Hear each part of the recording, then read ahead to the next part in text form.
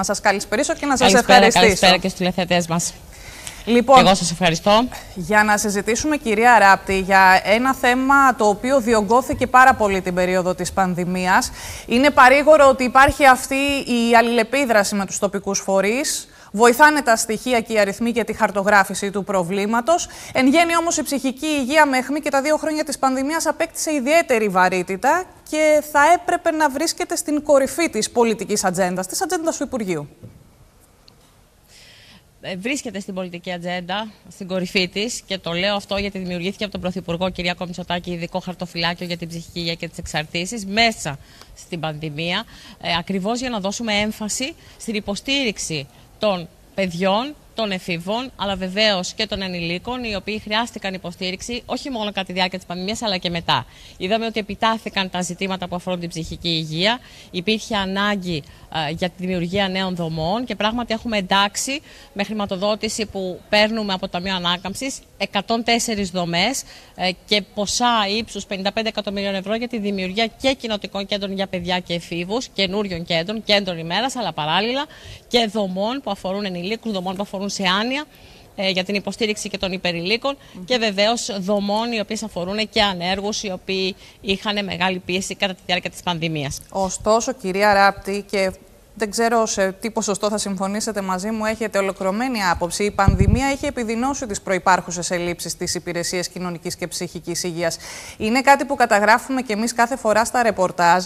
Ε, νομίζω ότι είναι χαρακτηριστικό αυτό που κατέγραψε και η έκθεση του συνηγόρου του πολίτη. Το 53% των επαγγελματιών, σας το αναφέρω ενδεικτικά, έκρινε ότι η πρόσβαση των παιδιών στα κέντρα παιδικής ψυχικής υγείας ήταν δυσκολότερη την περίοδο της πανδημίας και το 87,6% των επαγγελματιών έκρινε ότι η κυβέρνηση δεν έλαβε υπόψη της την ψυχική υγεία των παιδιών κατά τη λήψη των σχετικών μέτρων. Και μιλάμε για μια περίοδο που είχε χαθεί η κοινωνικοποίηση, η αλληλεπίδραση, ήταν κλειστά τα σχολεία και αρκετά παιδιά, ας μην το ξεχνάμε αυτό, δεν είχαν καν πρόσβαση στις βασικές υποδομές, στο ίντερνετ.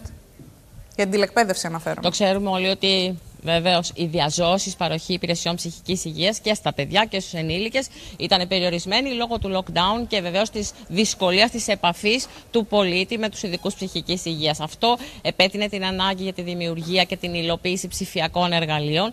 Ήδη δημιουργήσαμε ψηφιακά ιατρία, ψηφιακές δομές που υποστηρίζουν την ψυχική υγεία παιδιών και εφήβων όπως και ενηλίκων σε πολλές περιοχές της χώρας μας. Έχουμε ξεκινήσει από τις απομακρυσμένες περιοχές, το Καστελόριζο και τη Σίμη, περιοχές του Εύρου και βεβαίως έχουμε ενισχύσει τον προπολογισμό για την ψυχική υγεία κατά 62%.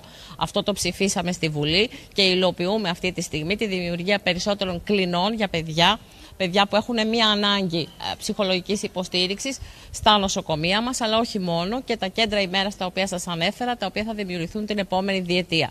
Ε, η έκθεση του συνηγόρου του πολίτη κατέδειξε ότι υπάρχει ανάγκη για ενίσχυση αυτών των υπηρεσιών. Αυτό το είδαμε παγκοσμίως και γι' αυτό και ο Παγκόσμιος Οργανισμός Υγείας έθεσε την ψυχική υγεία ως ένα από τους τέσσερις πυλώνες της πολιτικής του μέχρι το 2027. Και βεβαίως η Ευρωπαϊκή Ένωση σήμερα ετοιμάζει με τη Γαλλική Προεδρία χρηματοδότηση, περαιτέρω αύξηση της χρηματοδότησης για τις υπηρεσίες ψυχικής υγείας σε όλη την Ευρωπαϊκή Ένωση. Πάντως, ε, για την ώρα βλέπουμε οι υπηρεσίες των Δήμων υποστελεχωμένες, χωρίς πρωτόκολλα, χωρίς συγκεκριμένα καθήκοντα, χωρίς εργαλεία και επιστημονική εποπτεία. Σε πολλές περιπτώσεις δεν έχει διαπιστωθεί, κυρία Ράπτη, ότι. Δεν είναι αυτό έτσι. Υπάρχει επιστημονική εποπτεία, σαφέστατα.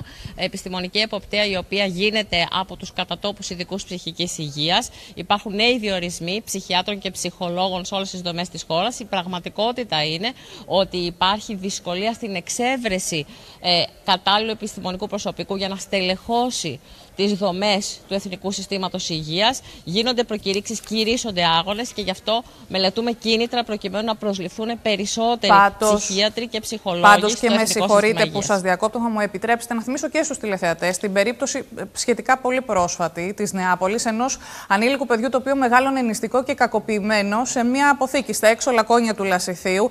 Το θέμα αυτό, η τραγωδία αυτή, ανέδειξε το μείζον ζήτημα ε, της υποστελέχωσης. Δηλαδή, έχουμε την κοινωνική υπηρεσία του Δήμου, του Αγίου Νικολάου, με μια εργαζόμενη. Η γυναίκα, όσο καταρτισμένη και να είναι και να θέλει, δεν μπορεί να ανταποκριθεί.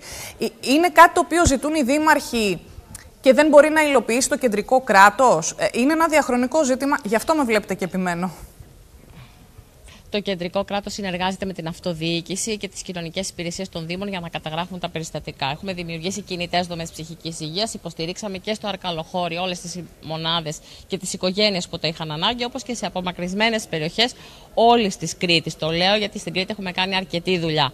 Παράλληλα, οι υπηρεσίες αυτές είναι αυτή τη στιγμή σε, ε, σε εγρήγορση προκειμένου να βελτιώσουν την παροχή των ορών που δίνουν στους πολίτες. Είναι μια κοινή προσπάθεια και γι' αυτό πάντα λέω ότι η συνεργασία κράτους και αυτοδιοίκηση είναι κορυφαίας. Σε αυτός συμμετέχει βεβαίως και η Περιφέρεια Κρήτης, η οποία με συγκεκριμένα χρηματοδοτικά εργαλεία και προγράμματα από το νέο ΕΣΠΑ πρόκειται να υλοποιήσει σε συνεργασία με το Υπουργείο Υγείας νέες δομές ψυχικής υγείας στην ε, περιφέρεια της Κρήτης.